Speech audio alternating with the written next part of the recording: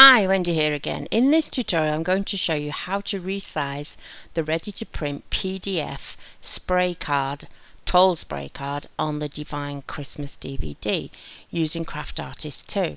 Okay, I've got Craft Artist 2 open and I've got an A4 portrait document open.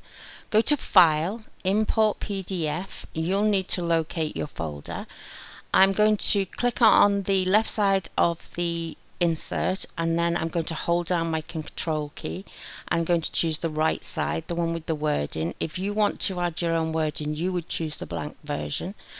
Uh, the decoupage and the main card. Let go of your control key and press open. It takes a few seconds for the four documents to come into craft artist and here we have them. If you look here, this is the original document I had had open. There's the left side insert, the right side, the spray card, and the uh, the main piece. Okay, I'm going to start with the left side of the insert. I'm going to click on it to highlight it, and I'm going to crop away some of the side. Um, I'm not being precise, so all I want to do is get rid of some of the white space. If you don't need the instructions, you can uh, cut that away too. That's one. This is the right side. Again, I'm going to crop away, but just go up to that line. You need this line here. That tells you where to cut, and I'm going to get rid of the instructions. The decoupage, the same principle. I'm going to crop away the majority of the left side because it's blank and then to the main piece and again crop. The reason why I'm cropping is it just makes it easier to stack it all up in a minute. Okay, I'm going to go back to the left side of the insert and I'm going to click on it and I'm going to right mouse it and cut. I'm going to go to my original document, right mouse and paste. Then I can go back to that left side and I can close it but say no to changes. I'm going to repeat the process for the right side back to my original document and we're going to stack these on top of each other. Close the original and say no. Next it's the decoupage, right mouse, cut, back to the first one I opened and paste. I'm going to slide that over so it's centralized. You'll see why when we come to resize it. And close the spray, say no to changes. And the last one is the front. Cut, back to my original and paste.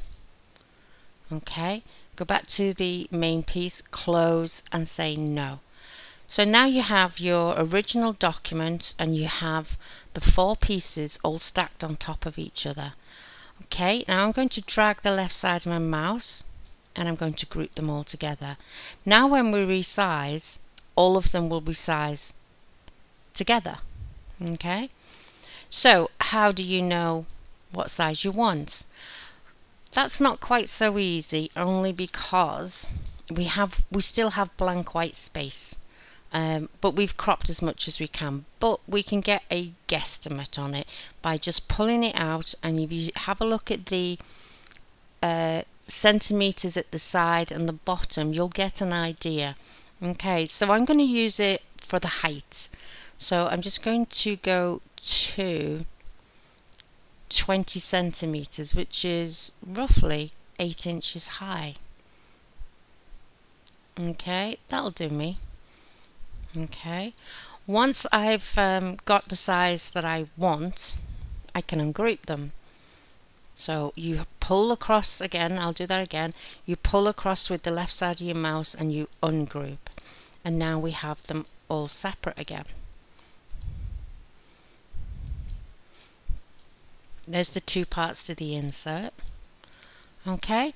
So I want these two in these um, the left and the right side of the insert, I want them onto one piece of card, paper even. So I'm going to go to new project and I'm going to set it up in A4 landscape. I'm going to go back to my original and I'm going to start cutting these. away, cut and paste into that landscape I've just opened. I'm going to move that over, go back and choose the other side.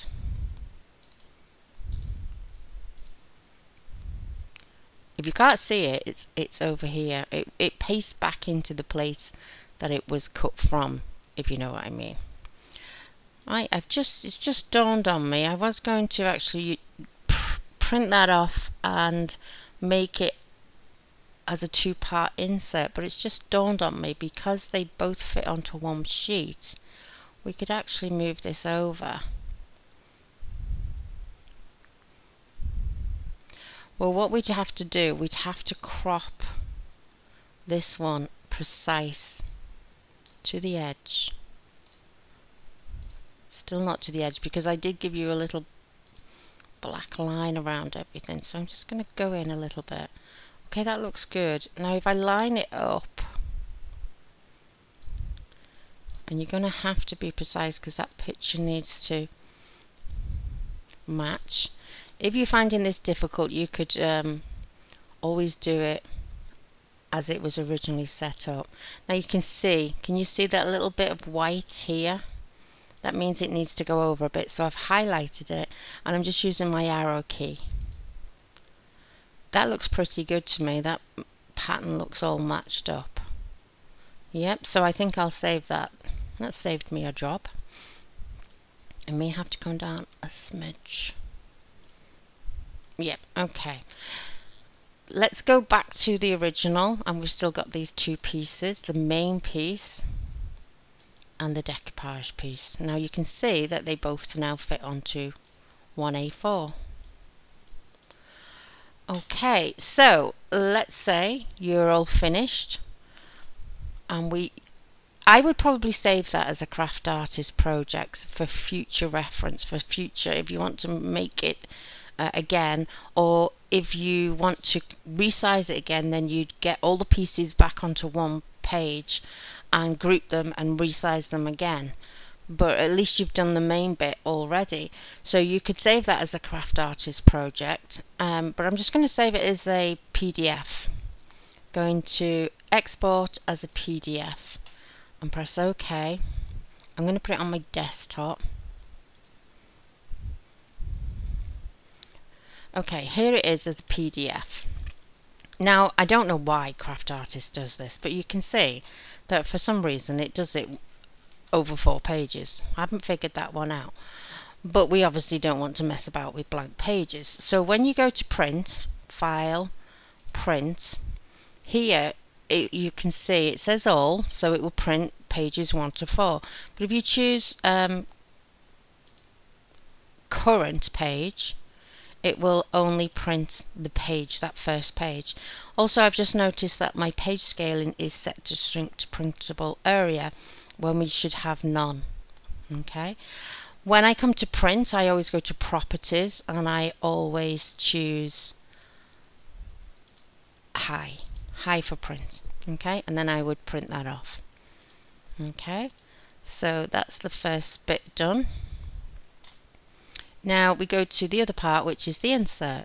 So again, file, export as a PDF, OK, and it might be wanting to call it itself project 8 which could be the same as the, the previous one so I'm just going to put a B at the end of it and press OK. Again it's saving as one of four. Don't ask me why, I don't know. And then I would just be able to print See, see how page scaling has gone there again. Set it to none. If you don't change it to none, then and you've got two sheets to one project, one could print smaller than the other. We don't want that. Again, current page, so it'll only print page one. I'm not going to print them. Okay, so I think we're finished with that. I hope you found that useful. If there's anything else you'd like to see, um, just get in touch. The same principle that I've just applied would, would apply to the door, which is also a tall one. They were both originally designed to go onto Anna Marie Designs 12 by 6 card bases, which I absolutely love. um, but I realise that people don't want them that big all the time. I've actually made two uh, smaller ones and once they're dry I'll take some pictures and pop them onto my Facebook page. Okay, I'm going to shut up now and I'll see you again soon. Bye.